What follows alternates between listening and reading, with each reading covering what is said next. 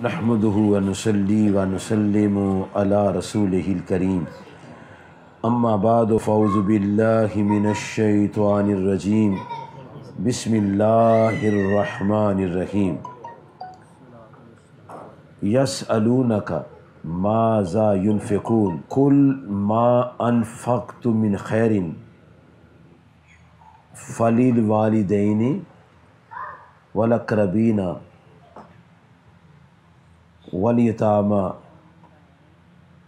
والمساکین وابن السبیل وما تحفل من خیر فإن اللہ بعلیم. صدق اللہ العظیم وصدق رسول النبی الکریم الامین ونحن على ذلك لمن الشاہدین. والشاکرین والحمد للہ رب العالمین. وقال اللہ تبارک و تعالی فی شان حبیبہ صلی اللہ علیہ وعلا آلہ واصحابہ وسلم ان اللہ وملائکتہ یصلون علی النبی یا ایہا الذین آمنوا صلوا علیہ وسلموا تسلیما والصلاة والسلام علیکہ یا سیدی یا رسول اللہ وعلى آلك وصحبك يا سيدي يا حبيب الله. الصلاة والسلام عليك يا سيدي يا رسول الله. وعلى آلك وصحبك يا سيدي يا حبيب الله.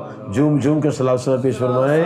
الصلاة والسلام عليك يا سيدي يا رسول الله. وعلى آلك وصحبك يا سيدي يا حبيب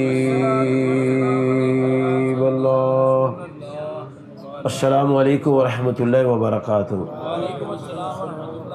پیارے بزرگوں، دوستوں، پیارے بھائی اور پیاری بہنوں، اللہ تعالیٰ کا لاکھ لاکھ شکر ہے کہ اللہ تعالیٰ نے ہمیں انسانوں میں پیدا فرمایا اور پھر اس کا بےحد و صاحب شکر ہے اس نے ہمیں مسلمان بنایا۔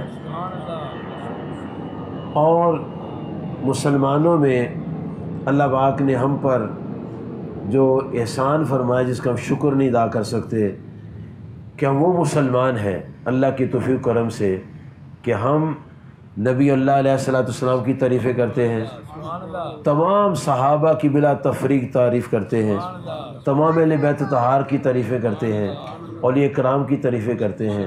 والدین کا احترام کرتے ہیں، بہن بھائیوں کا احترام کرتے ہیں۔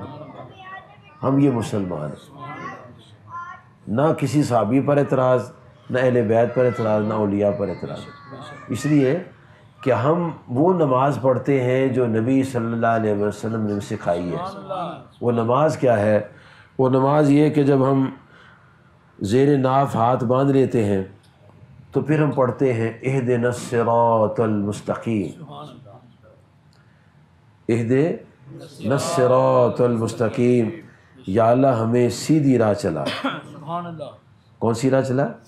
سیدھی راہ چلا۔ اور پھر ساتھ اللہ تعالیٰ نے ہمیں رہنمائی فرمائی ہے کہ تم نے یہ دعا کرنی ہے کہ سراط الزین انعمت علیہم اے ہمارے پروردگار ہمیں ان کی راہ چلا جن پر تو نے نام کیا۔ ہر ایک کی راہ پر نہیں چلنا۔ یہ نہیں ہے کہ جس کے پیچھے مرضی لگ جاؤ۔ نا۔ قرآن قرآن مجید جو کہتا ہے انہیں بات ماننی۔ ہمارے رب کا کلام ہے۔ جس نے ہمیں پیدا کیا ہے، ہمیں اس کی بات ماننی ہے۔ غلط تشریحات نہیں ماننی ہے غلط لوگوں کے پیچھے نہیں چلنا۔ جو اللہ پاک نے فرمایا، ان کے پیچھے چلنا ہے۔ سراۃ اللہ زینہ انعام تعلیم جن پر اللہ نے نام فرمایا، ہم پانچ گانا نماز میں سنتے بھی ہیں۔ جب علیحدہ پڑھتے تو خود بھی پڑھتے ہیں۔ اب اللہ تعالیٰ نے پہلی تو بات فرمائی، دعا دن سراۃ المستقیم، دوسری ہمیں تشریف فرما دی سراۃ اللہ زینہ انعامت علیہم، اور تیسری اس کی تشریف فرما دی صورت النساء، آیت نمبر ہے انہتر۔ اللہ تعالیٰ فرماتا ہے، پتہ میں نے کن پر انعام کیا؟ ان ام اللہ علیہ من النبی جینا و صدیقینہ و شہداء و صالحین انبیاء، صدیقین، شہداء صالحین پر اللہ نے انعام فرمایا ہے۔ اور ہم ہاتھ باندھ کے اللہ تعالیٰ سے دعا کرتے ہیں، یا اللہ، ہمیں انبیاء، صدیقین، شہداء اور صالحین کے نقش قدم پر چلا اور جب سلام پھیرتے ہیں تو بھی ان کی تعریفیں بھی کرتے ہیں۔ یہ نہیں ہے کہ ہم نماز میں تو کہیں دن اسرات المستقیم سرات اللہ زینانم تعلیم النبی جین صدیقین شودا صالحین، اور بعد میں ان کے خلاف باتیں کریں۔ ہمارے لیے جیسے اللہ کو ایک ماننا فرض ہے، ایسے انبیاء، صدیقین، شہداء، صالحین، صحابہ بیت کی شان ماننا بھی فرض ہے۔ جیسے اللہ پر اعتراض کرنا حرام ہے، ایسے نبیوں، صدیقوں، شہیدوں، صالحین پر بھی اعتراض کرنا حرام ہے، کیونکہ اللہ پاک نے ان پر انعام فرمایا ہے۔ اور ان انعام یافتہ لوگوں کے نقش قدم پر چلنا یہی اسلام ہے۔ یہی جس جو یہ کرتا ہے وہ صحیح اسلام ہے۔ تو نہیں دیکھتے۔ وہ کیا کہتے وہ کیا کہتے قرآن کیا کہتے ہیں قرآن پاک یہ فرماتا ہے، انبیاء، صدیقین شہداء اور صالحین کے نقش قدم پر چلو۔ اللہ تعالیٰ یہ فرما رہا ہے۔ اور یہ جو لوگ ہیں، انبیاء، صدیقین شہداء اور صالحین، یہ ماں باپ کی شان بیان کرتے ہیں، بڑے بھائی کی شان بیان کرتے ہیں، رزق حلال کی شان بیان کرتے ہیں، رشتہ داروں کی شان بیان کرتے ہیں، برادری کی شان بیان کرتے ہیں، صلہ رحمی کی شان بیان کرتے ہیں تعلقات کو جوڑنے کی بات کرتے ہیں، محبت کی بات کرتے ہیں۔ جہاں قطع رحمی ہوگی، جہاں تعلقات کو قطع کرنا وہ سمجھو رستہ صحیح نہیں ہے۔ بچے نوجوان بیٹھے ہوئے ہیں۔ سنو میرے پیارے بچوں، بھائیوں، جس جماعت میں جا کر انسان ماں باپ کا گستاخ ہو جائے وہ جماعت غلط ہے۔ جس جماعت میں جانے کے بعد انسان ماں باپ کا احترام کرے، وہ صحیح سبق دے رہے۔ کیونکہ اللہ تعالیٰ فرماتا ہے وہ قدا رب کا اللہ تابدو اللہ بل والدین احسانہ اللہ تعالیٰ فرماتا ہے، محبوب علیہ السلام، آپ کا رب حکم فرماتا ہے، بندگی میری کی اور حسن سلوک والدین کے ساتھ۔ یعنی اللہ تعالیٰ کی بندگی کے بعد اگر نبی صلی اللہ علیہ وسلم کی اطاعت میں مانا چاہتے ہیں تو ہمیں والدین کا احترام کرنا ہے۔ اگر آدمی والدین کا احترام نہیں کرتا، اس کی عبادت کسی کام کی نہیں۔ کیونکہ اللہ کے بندگی اور نبی صلی اللہ علیہ وسلم اطاعت کے ساتھ، نبی صلی اللہ علیہ وسلم کی اطاعت کے ساتھ والدین کا بیان۔ والدین ہے تو اولاد ہے۔ والدین ہی تو اولاد نہیں۔ جو جن کی شادی نہیں تو انہیں اولاد ہی کوئی نہیں۔ دو شخصیات ایسی ہیں جو ماں باپ کے بغیر پیدا ہوئی۔ ایک آدم علیہ السلام دوسرے عیسیٰ علیہ السلام جو بغیر باپ کے ہیں، وہ ماں باپ کے بغیر ہیں اور یہ باپ کے بغیر ہیں۔ اور عیسیٰ علیہ السلام نے ماں کی بڑی شان بیان کی۔ سورہ مریم میں اللہ تبارک و تعالی ارشاد فرماتا ہے کہ جب حضرت سیدنا عیسیٰ روح اللہ کلیمۃ اللہ علیہ السلام پیدا ہوئے تو ان کی اماں محترمہ ان کو لے کر معاشرہ میں آئیں۔ جب معاشرہ میں آئیں تو لوگوں نے کہا، مریم، تیری تو شادی نہیں ہوئی تھی۔ یہ بچہ کہاں سے لے آئی ہے؟ تو اللہ پاک نے فرمایا تھا کہ، اے مریم، تو نے بولنا نہیں ہے۔ تو نے یہ کہہ دینا ہے کہ میں نے اللہ کے لیے روزہ رکھا ہے۔ انی نظر تو لے رحمان ساؤمن میں نے اللہ کی رضا کے لیے روزہ رکھا ہے۔ فلاں اقل یوم انسی آج میں بولوں گی نہیں۔ جب بچہ لے کر آئی پوچھا کہاں سے آئی لائی ہو؟ چپ۔ یہ نہیں کہا میں بولوں گی نہیں۔ یہ کہتی تو بول پڑتی۔ خاموش۔ وہاں بتاؤ نا کہاں سے آئی ہو؟ کہاں سے بچہ ہے؟ تو اللہ تعالیٰ فرماتا ہے میں نے بی بی مریم سے فرمایا کہ تو کہہ دینا فاشارت لے یہ جو آئے اس سے پوچھو کہاں سے آئے۔ اس بچے سے پوچھو۔ تو پنگوڑے میں دودھ پیتا بچہ کیا کہتا ہے؟ کہنے انی عبد اللہ آتانی الکتابہ وج علنی نبیہ وج علنی مبارکن اینا ما کن تو و اوسانی بصلاتی و زکاتی ما دم تو حیا و برم و بالدتی ولم یج النی جبار شقیہ اس ساری عبارت میں ایک بات کہی کہ رب کائنات نے مجھے اپنی ماں کے ساتھ نیکی کرنے والا بنایا۔ کیونکہ ان کا باپ نہیں تھا اس لیے ماں کا ذکر کیا۔ ہمارے ماں باپ ہیں، اس لیے ہمیں فرمایا وبیل والدین احسانہ ماں باپ کے لیے اس نے سلو کرو۔ اور یہ جو آیت آپ نے سنی ہے کہ یس سلون کا ماضا یونفکون اے محبوب علیہ السلام آپ سے پوچھتے ہیں، ہمارے پر پیسے ہم کہاں خرچ کریں؟ ایک وہ وقت تھا مسلمان بھائیوں بزرگوں۔ ایک چادر نیچے اور اوپر لپیٹ کر لوگ نماز پڑھتے تھے۔ اور کچھ ایسے بھی تھے سلام پھیرتے تھے اور دعا کر کے فوراً نکل جاتے تھے، بیٹھتے نہیں تھے۔ تو جب اس سے پوچھا جاتا کہ تم کیوں نہیں بیٹھتے؟ کہ ایک ہی چادر میں نماز پڑھتا ہوں، اسی میری بیوی نماز پڑھتی اتنا اسرت کا عالم تھا۔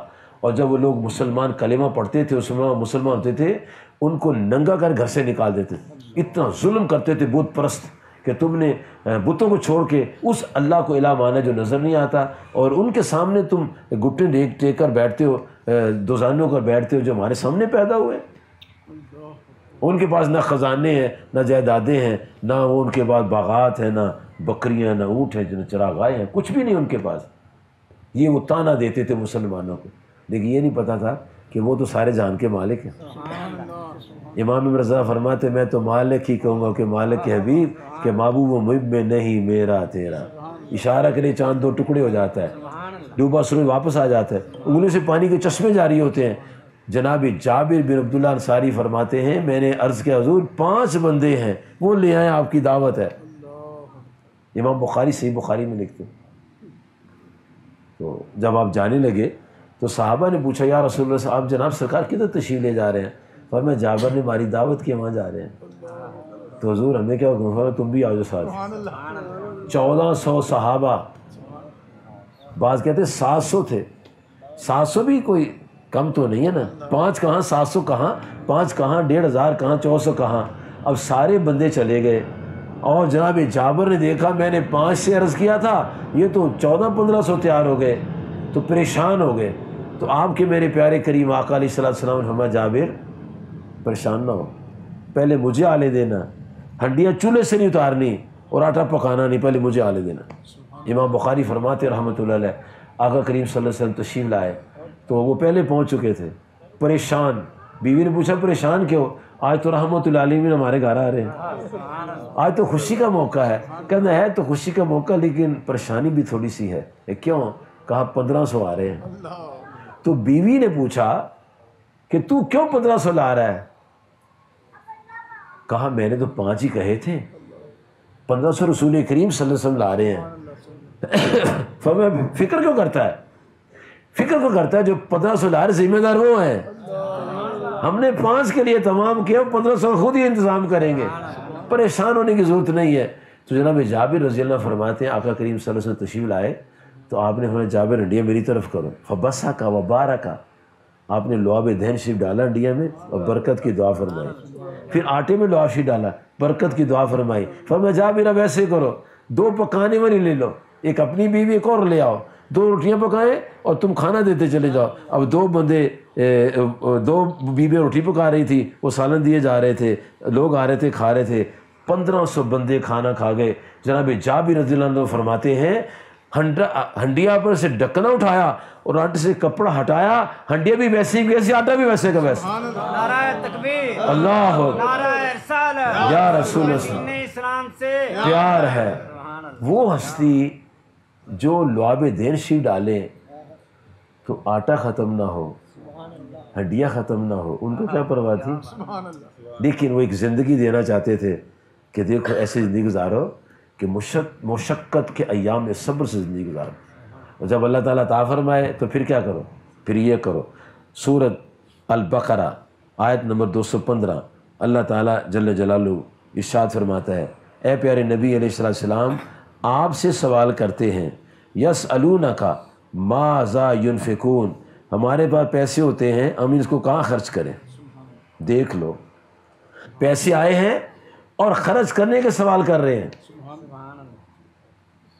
یہ ہے اصل کمال، کہ پیسے کہاں خرچ کریں؟ بڑا عجیب سوال ہے۔ پیسے کہاں خرچ کریں؟ اب سوال ہوا نبی صلی اللہ علیہ وسلم سے تو اللہ تعالیٰ نے یہ نہیں فرمایا میں تمہیں بتاتا ہوں سوال کہاں کہاں پیسے خرچ کروں؟ نہیں فرمایا میرے محبوب سے سوال ہوا میرے محبوب جواب دیں گے۔ اچھا اب جواب کے لیے رب کائنات نے قرآن اتارا ہے۔ تو قرآن مجید میں جو جواب آیا ہے سوال بھی آیا جواب بھی آیا تاکہ دنیا کو پتہ چلے کہ میرے محبوب کی شان کیا ہے۔ سوال آپ سے ہوتا ہے جواب اللہ تعالیٰ اشاد فرماتا ہے زبان پاک رسول پاک صلی اللہ علیہ وسلم کی ہوتی ہے۔ یا سلون کما ذا یونفکون اے پیارے نبی صلی اللہ علیہ وسلم آپ سے پوچھتے ہیں کہ ہم کیا خرچ کریں کہاں خرچ کریں کس کس پر خرچ کریں؟ اب سنو میرے دوستو اللہ تعالیٰ کیا فرماتا ہے؟ فرمایا کل ما ان تم جو تم خرچ کرو۔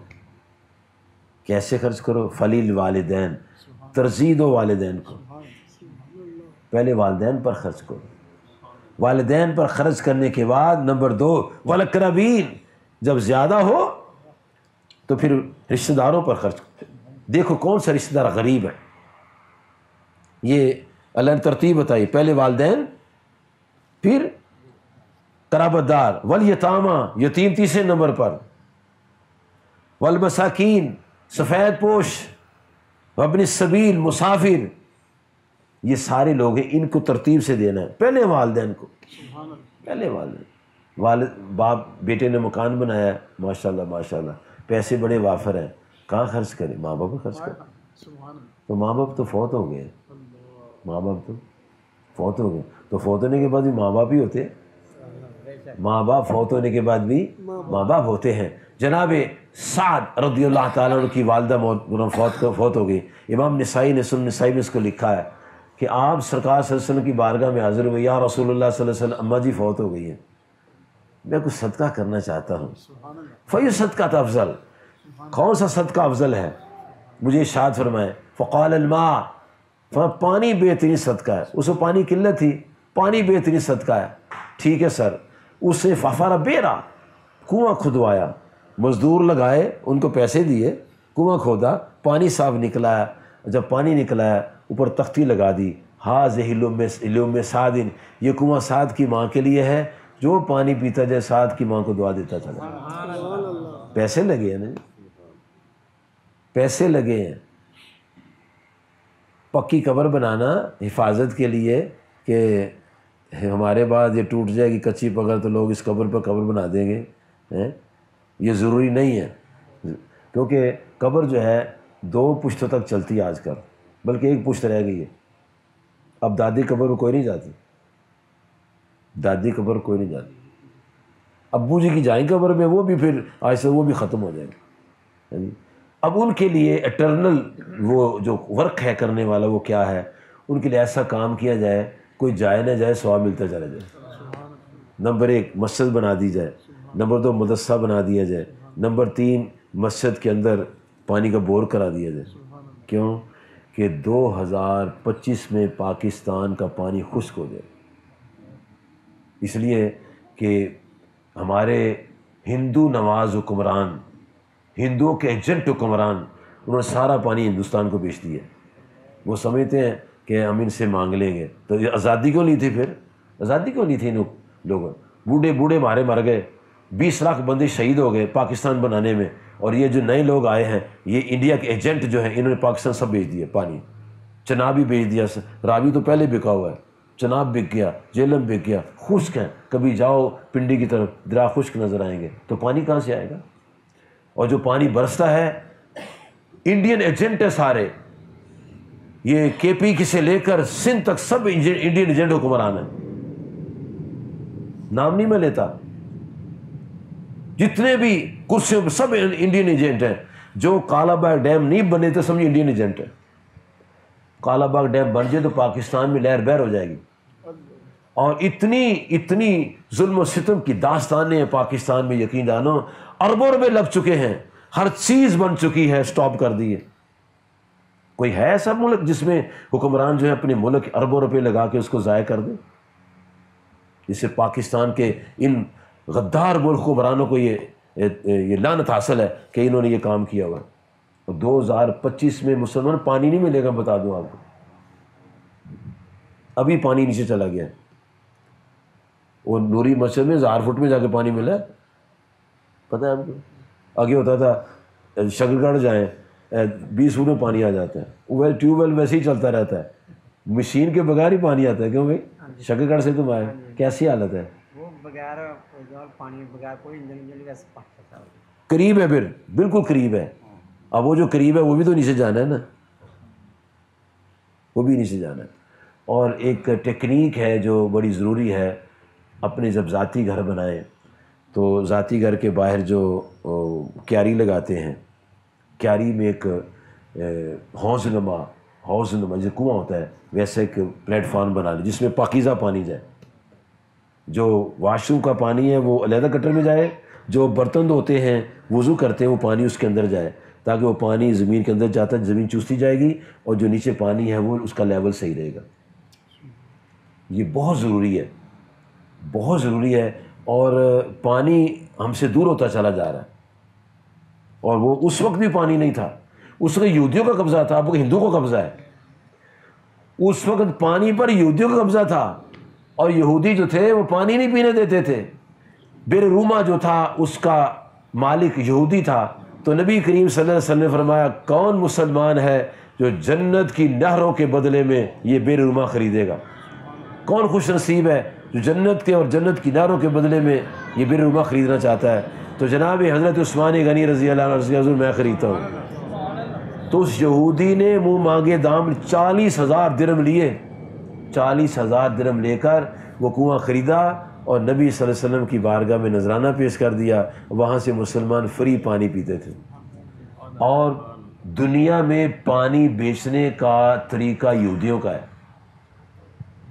ان کو دیکھ تو دیکھی مسلمان بھی شروع ہو گئے۔ ہمارے مسلمان کابر فری پانی رکھتے تھے۔ اب مسلمان کاروبار کرتے ہیں۔ بڑے بڑے نیک لوگ کاروبار کر رہے ہیں، پانی بیچ رہے ہیں۔ جی؟ سو دن پانی بکتا ہے۔ تیل کی بوتل ایک لیٹر کی اور اتنا سا پانی دو لیٹر کا۔ ایک لیٹر کی بوتل تیل کی ایک جو لیٹر سائز ہوتا ہے، ایک ایک ریال کی۔ اور یہ پاؤ پانی دو ریال کا بک رہا ہے۔ تو پانی نہیں ہے؟ پانی کی کوشش نہیں کی ہے۔ بس ناچنے ٹاپنے کی شادیوں کی کوششیں بڑی کی ہیں اور جوئے پانچ پانچ بیوے ہارنے کی کوشش کی ہے۔ بس یہ کام کیا ہوا ان لوگوں نے۔ ہمارے بھی یہی حال ہے، پریشانی بنی ہوئی ہے۔ ہاں جی۔ صحابہ کرام ردوان اللہ تعالیٰ نے مجموع بڑی فکر تھی۔ آپ نے اس کو فکر دے دی کہ لوگوں، پانی کمی ہو تو پانی کا انتظام کرو۔ تو ایک شخص سات رضی اللہ کی والدہ فوت ہوئی۔ اس نے پوچھا، تو آپ صلی اللہ علیہ وسلم فرمایا پانی بہترین صدقہ ہے۔ انہیں کنواں کھدوایا اور کنواں کھدوا کے اس کو اپنی والدہ کے نام لگا دیا۔ چودہ صدیاں لوگ پانی پیتے رہے وہاں۔ آج بھی وہ کنواں جو عثمان غنی رضی اللہ تعالیٰ خریدا تھا، اس کا پانی لوگ لے کر آتے ہیں جب آجی جاتے ہیں۔ بڑے طریقے سے جاتے ہیں، جانے نہیں دیتے وہاں، بڑی مشکل سے جاتے ہیں۔ میری زبان گیا ہے وہاں سے۔ وہ مجھے بوتل اس نے دیے، وہیں رہ گئی ہے۔ وہ وہاں سے اس بے روما سے پانی لے کر آیا۔ لیکن وہاں جیسے کھلے عام جانے دیتے، نہیں جانے دیتے۔ کیوں؟ مسلمان عقیدت مند ہیں، وہ عقیدت کو ذبح کر دیتے ہیں۔ کیا ہوتا ہے؟ یہ شیر کا کفر ہے۔ جی؟ حالانکہ نسبت چیز سے بڑا احترام ہوتا ہے۔ قرآن پاک ہم چومتے ہیں، اس کی جلد کو چومتے ہیں۔ کلمات چومتے کیوں اللہ کا نام لکھا ہوا ہے۔ اور جنہوں نے احترام کیا ہے، ان کو ولایت رب نے دی ہے۔ حضرت مجد الفسانی شیخ ہم سرندی رحمۃ اللہ تعالی علیہ، آپ کے گھر میں ایک پیالہ تھا۔ اس پہ نقاشی کی ہوئی تھی۔ ایک دن اپنے غور سے دیکھا، تو اس پر لکھا ہوا تھا، اللہ۔ اللہ۔ اور جیسے ہوتا ہے نا، گھروں میں یہ صفائی کرتی ہیں، بچیاں جھاڑو پھیرتی ہیں۔ تو پھر کسی ڈسٹ بن میں ڈال دیتی ہیں۔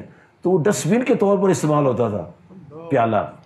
تو ایک دن آپ نے دیکھا تو کہنے وہی یہ تو اس میں تو اللہ کا نام لکھا ہوا ہے۔ اس کو ڈسٹ بن کے طور پر استعمال کر رہے ہیں۔ آپ نے پانی لے لوٹے میں اور پیالے کو دھونے لگے۔ تو ایک مرید عرض کہتے حضور کیا فرما رہے ہیں؟ فرمایا یار، یہ میرا اپنا کام ہے، تم اپنا کام کرو، یہ مجھے کہا۔ نہیں، حضور، ہمیں دیجیے اس کم کی، اس کی علائشیں ختم کرتے ہیں۔ اس کو خوب مانچ کر دھوتے ہیں۔ جب اس کو آپ نے خود اپنے ہاتھوں سے مانچ کر دھویا تو اللہ تعالیٰ کا نام اور نمایاں ہو گیا۔ تو آپ فرماتے ہیں میں نے اس کو کپڑے میں لپیٹا اوپر میں نے تاک میں رکھا۔ جب مجھے پیاس لگتی اس پیالے میں پانی پیتا جس میں جس کو ڈسٹ بن بنایا ہوا تھا۔ حضرت مجد پاک فرماتے حضرت القدس آپ کی سیرت کی کتاب ہے۔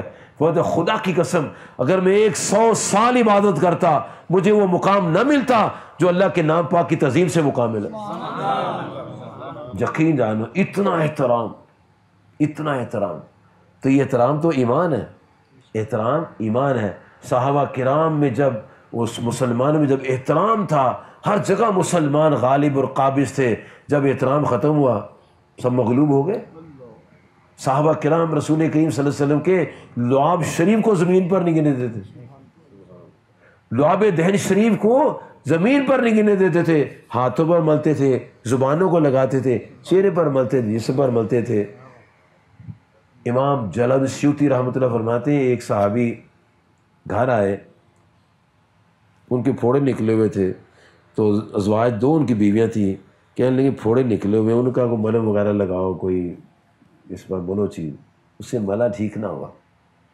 تو ایک دن نبی صلی اللہ علیہ وسلم کی بارگاہ میں ہے عرض کے یارسول مجھے یہ دانے نکلے ہوئے ہیں۔ ٹھیک نہیں ہو رہے، اس میں پیپ پڑی ہوئی ہے، ریشہ ہے۔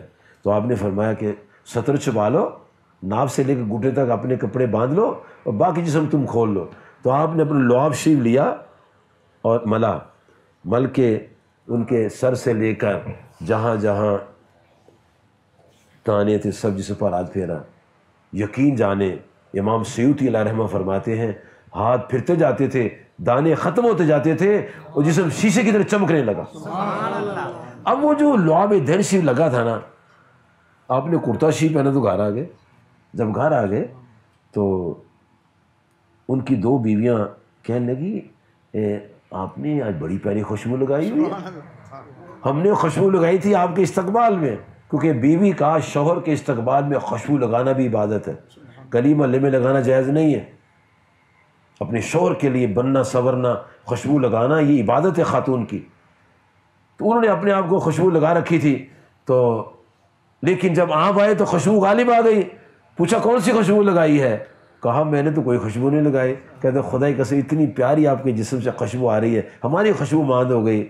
ضرور تم نے خوشبو لگائی ہے۔ فرما ہاں میرے جسم کو لعاب شریف لگا ہوا یہ خوشبو لعاب شریف کے جو میرے جسم پر لگی ہے، اور آقا سز کی ذات اقتص ایسی شان تھی کہ آپ جب گلی سے گزرتے تھے، گلی خوشبو سے مہک جاتی تھی۔ تو پیارے نبی محترم صلی اللہ علیہ وآلہ وصابی مبارک وسلم کے پیارے پیارے صحابہ کرام جو تھے، وہ ادب و احترام میں اتنے بلند تھے کہ آپ کا لعاب شی زمین پر نہیں گرنے دیتے تھے اور ناخنوں کا احترام کرتے تھے۔ اور آپ نے شاید سنا ہو، جب آپ کو غسل مبارک دیا گیا تو آپ کی یہاں آنکھوں میں پانی تھا۔ تو جناب علی نے پانی چس لیا تھا۔ اور جب آپ کی آنکھیں دکھنے آئیں تو آپ کی آنکھوں کو لعابشی لگا تو جب تک شہادت تک آپ کی کبھی آنکھ دکھنے میں نہیں آئی تھی۔ احترام کرتے تھے نا لوگ۔ جب تک احترام تھا، مسلمان غالب تھے۔ جب احترام ختم مسلم مغلوب ہو گئے۔ آج مسلمان احترام کی دنیا سے نکل آیا۔ او یار ساڈے کریں سن کے۔ ہوں ساڈا کام عمل کرنا، اس پیغام دے گئے نا۔ اللہ اکبر۔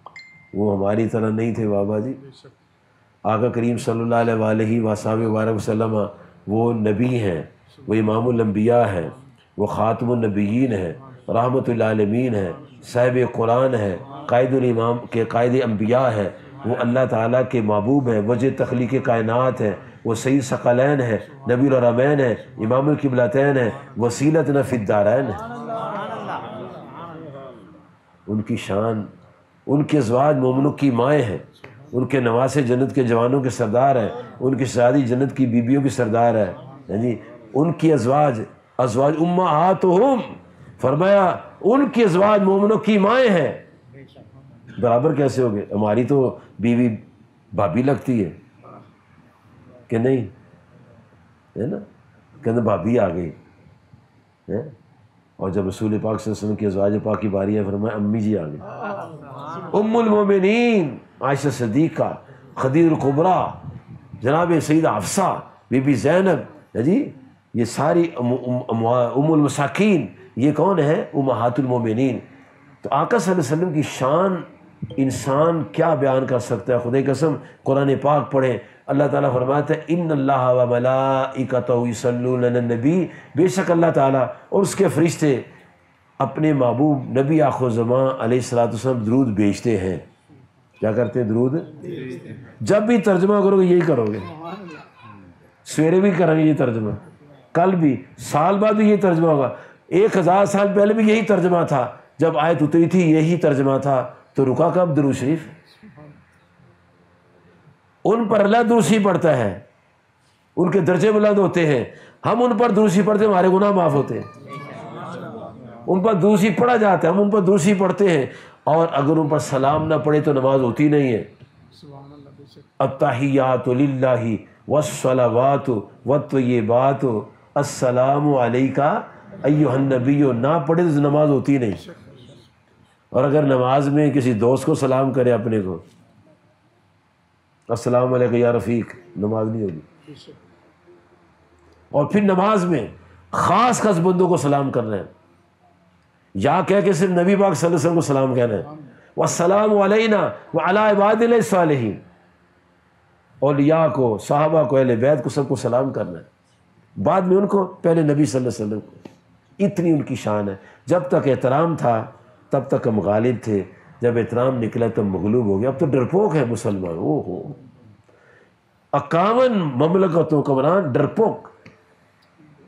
کبوتر سے بھی ڈرپوک۔ کبوتر سے بھی ڈرپوک۔ بکری سے ڈرپوک۔ جی اتنے ہمارے بھائی مر رہے ہیں ادھر برما میں، قتل کیے جا رہے ہیں۔ جی کوئی مسلمان حکمران جاری نا؟ امریکن قتل ہوتے تو وہاں ڈرون حملے شروع ہو جاتے، وہاں اٹیک ہو جاتا۔ جاپان کے خدا کو طالبان نے ختم کیا افغانستان میں۔ تو جاپان والے امریکہ سے کہا، ہمارا خدا مار دیا ہے۔ ان کو فکر نہ حملہ کر دیا۔ ادھر نائن الیون کا جھوٹا مقدمہ بنا کے افغانستان میں حملہ کر دیا۔ پچیس لاکھ بندے مار دیے۔ اور اس میں یہ ہمارا بگوڑا جو فوجی تھا، مشرف، یہ ساتھ مل کے پچیس لاکھ بندے مروا گیا مسلمان ایک دیوار کی طرح ہے۔ سر کو درد ہو تو پاؤں کو بھی تکلیف ہوتی ہے۔ پاؤں کو تکلیف سر درد ہوتی ہے۔ اب مسلمان مسلم کا دشمن بنا ہو سعودی عرب یمن پر حملہ کر رہا ہے۔ شام اپنے بچوں پر حملہ کر رہا ہے۔ ادھر ترکی میں کدو سے جنگ ہو رہی ہے۔ برما میں مسلمان قتل کیے جا رہے ہیں۔ کہاں مسلمان ہے؟ کون مسلمان ہے؟ ادھر انڈونیشیا میں وہ بائیں طرف عیسائیوں نے ڈرامہ کیا۔ ہمارے حقوق سلب ہو رہے ہیں۔ امریکہ نے انٹرنیشنل فورس بھیج کے عیسائیوں کا علاقہ جو تھا وہ ایک اسٹیٹ بنا دی۔ یوگنڈا میں عیسائیوں نے کھپ ڈال دی۔ وہاں فوج بھیج کے وہاں یوگنڈا میں عیسائی اسٹیٹ بنا دی۔ کشمیری مر رہے ہیں۔ لاکھ سے زیادہ کشمیری مر گئے ہیں۔ کوئی نہیں سوچ رہا۔ نہ پاکستانی سوچ رہے ہیں، نہ انڈین سو، نہ یو کے سوچ رہے ہیں، وہ یو این سوچ رہا ہے مسلمان ہے نا؟ جب مسلمان اکٹھے نہیں، تو مسلمان کی مسلم فکر کیسے کرے گا یہ سب اس لیے ہے کہ نبی صلی اللہ علیہ وسلم کا احترام ختم ہو گیا۔ آپ کا احترام ہوتا تو کبھی ایسے نہ ہوتا۔ تو صحابہ کرام جو تھے، بڑا احترام کرتے تھے۔ انہوں نے اپنی ماؤں کے نام سے کنویں کھدوا دیے۔ وہ اپنا پیسہ جو تھا، وہ کام میں لگایا۔ آج ضرورت ہے اپنی ماؤں کے لیے جن کی مائیں نہیں ہیں وہ وہ بور کرائیں مساجد کے اندر تاکہ سو سال تک پانی نہ ختم ہو۔ یہ والدہ کو سواب جائے گا۔ ویسے ہم، پتہ کرتے میں جنرل سی بات کر رہا ہوں، جو میں دیکھ رہا ہوں معاشرے میں۔ ماں باپ کے صدقے بیٹے ہوئے، ماں باپ تو بیٹے ہوئے نا۔ اب بیٹے ماما کی دور سے بڑے کاروبار، بڑے ان کے کاروبار ہوئے، تو انہوں نے کیا کیا؟ مکانات بنا لیے۔ ماں کا کوئی مکان نہیں۔ ماں کا کوئی مکان نہیں۔ ماں کے لیے بس ختم پھر دعا کرو، وہ ماں چلی گئی۔ نہیں، اس کے لیے مکان بنانا چاہیے۔ اس کے لیے مسجد بنا دی جائے، مدرسہ بنا دی جائے۔ مکانات میں وراثت ہے۔ مکانات میں وراثت ہے۔ دو بھائی ہیں، دو کنال کا مکان ہے، دیوار درمیان میں آ جائے گی۔ اور اگر نہیں کریں گے تو قتل و غارت شروع ہو جائے گی۔ لیکن مسجد میں وراثت نہیں ہے۔ مسجد بن جائے گی، قیامت تک ماں کو سواب ملے گا۔ کئی لوگوں میں نے قائل کیا ہوا ہے۔ لوگ قائل ہو رہے ہیں کہ یار، واقعی یار، یہ منڈے تو مال لے گئے، میرا سارا تو ماں میں کہ دیتا۔ ماں باپ پیو مریا تو ساری جائیداد میری بینک بیلنس میرا پیو دی کوٹھی میری کار میری تو پیو نے میں دیتا کی دیتا ہی کچھ نہیں سال بعد ختم تو آیا ابا جی اللہ معاف کر دیں اللہ پھر بھی معاف کر دے اللہ پھر بھی قبول کر لیتا چلو دعا تو کی ہے اسے تو چیز دعا نہیں کرتے لیکن جو مسجد بنا دیتے ہیں باپ کے نام کی مدرسہ بنا دیتے ہیں قیامت تک قائم رہے آپ میں سے کوئی شخص ایسا ہو جو اپنے ماں باپ کے لیے مسجد بنانا چاہتا ہے جی جگہ دے دے عقیل صاحب کو۔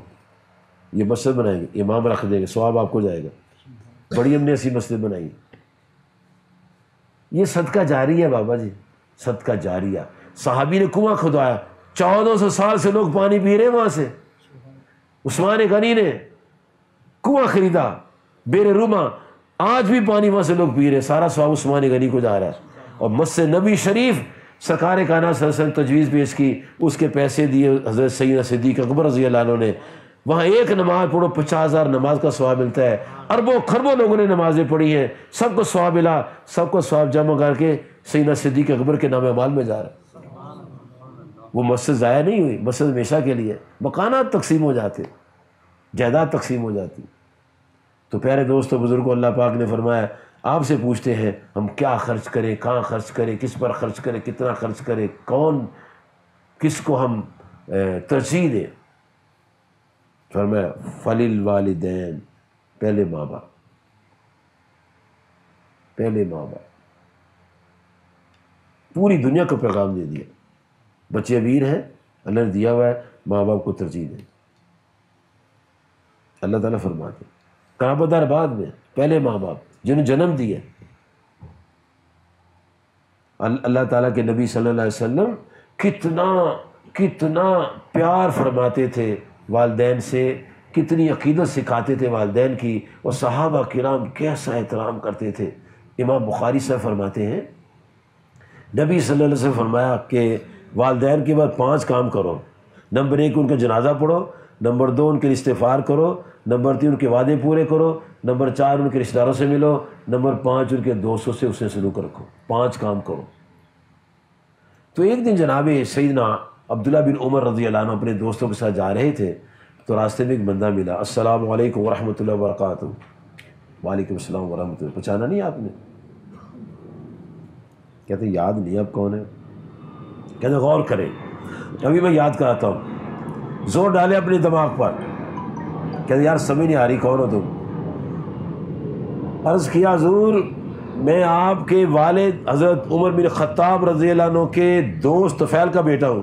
خود وہ ہو یاد یاد آ گیا اتنا کہنا کہنا تھا، سر سے پگڑی تاری اس کے سر پر رکھ دی۔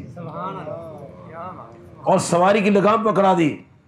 لوگوں نے کہا، عبداللہ، یہ کوئی مسافر، سائل، فقیر، محتاج آدمی تھا۔ دو چار درن دے دیتے، اس کا کام بن جاتا تو نے پگڑی بھی دے دی، سواری بھی دے دی۔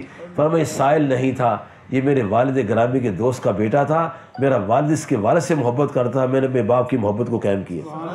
کیونکہ اللہ پاک کے نبی پاک فرماتے ہیں، جو ماں باپ کے دوستوں، رشتہ داروں، سہیلیوں سے تعلقات قائم رہتے ان کا نور قائم رہتا ہے۔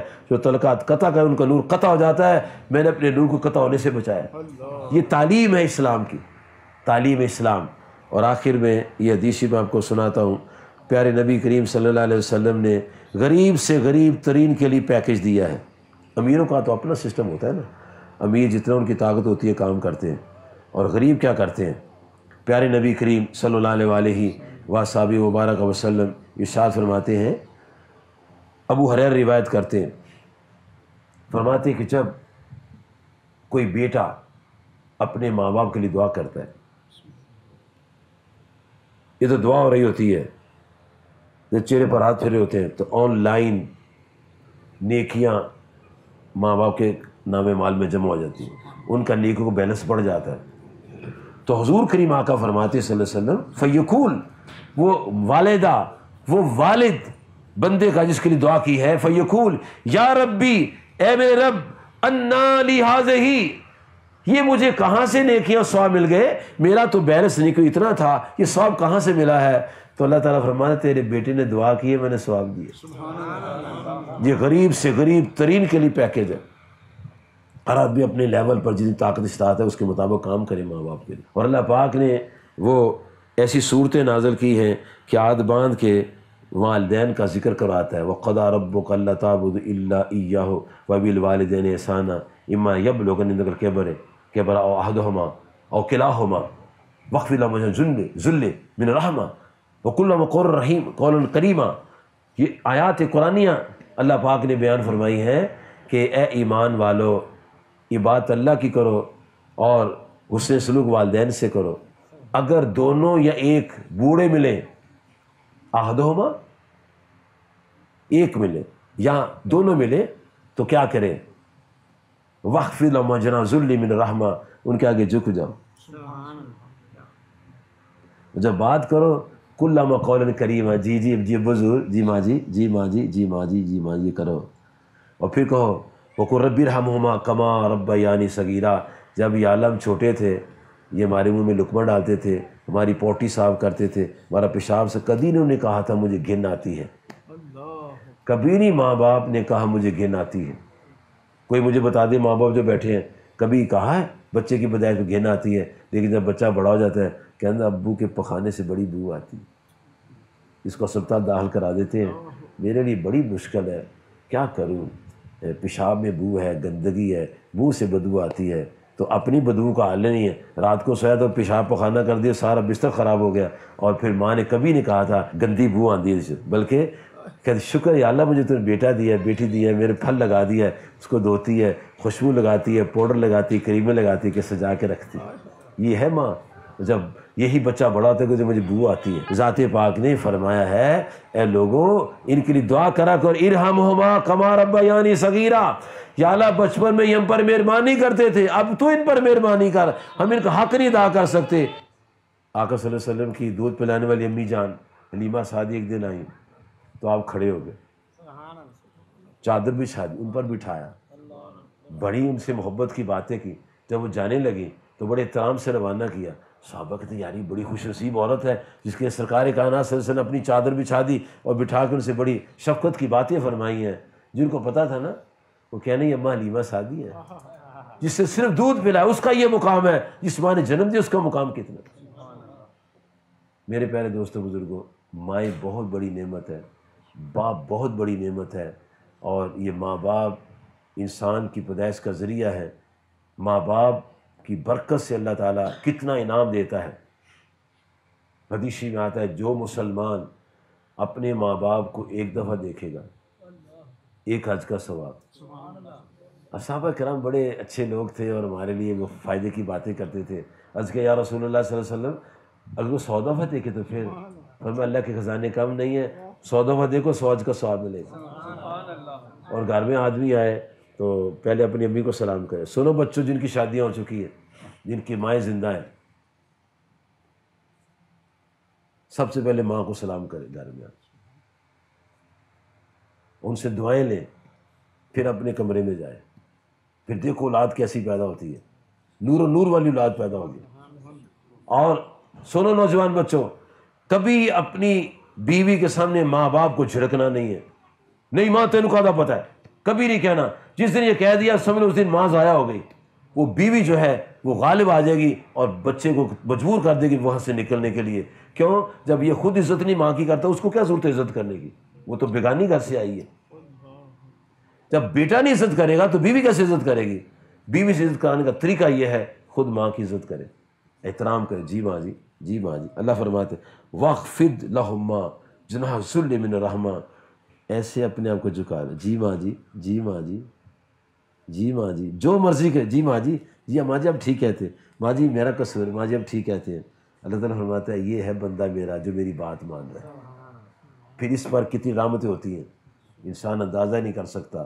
یہ مائیں پھر وہ دعائیں کرتی ہیں۔ جن دعاؤں کی برکت سے ان کی تقدیریں بدل جاتی۔ اس لیے میرے پیارے دوستوں، بزرگوں، نوجوان بھائیوں، بچوں بیٹوں، ماں باپ کے مقام کو پہچاننے کی ضرورت ہے۔ یہ ہنس پڑے نا۔ اللہ خوش ہو جاتا ہے۔ گھروں میں جوائنٹ سسٹم ہوتا ہے۔ چار پانچ چھ دس بھائی ہوتے ہیں ایک ہی گھر میں رہتے ہیں۔ ہاں جی۔ اپنے اپنے کمروں میں رہتے ہیں۔ حدیثی میں ہے جو بچہ سویرے اٹھے اور امی جان اور ابو جان کے پاس ہے ماں جی کیا حال ہے؟ ابو جی رات خیر سے گزری اللہ تعالیٰ کے نپا فرمائے تھے اللہ پاک اس کے دو رحمت کے دروازے کھول دیتے ہوں گے تو پوچھے گا۔ جب بہنی تو کس کو پوچھنا؟ جدو انجان سا کول سی ماہی، جدو انجان سا کول سی ماہی، جدو آئی ہوش ماہی ہو گیا راہی۔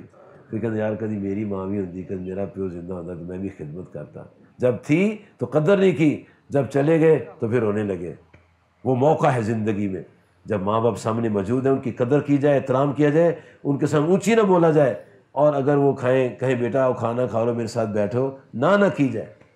ان کی بات نہ کاٹی جائے۔ ان کا نام نہ لیا جائے، ان کو گالی نہ دی جائے، ان کو برے الفاظ سے یاد نہ کیا جائے، احترام کیا جائے۔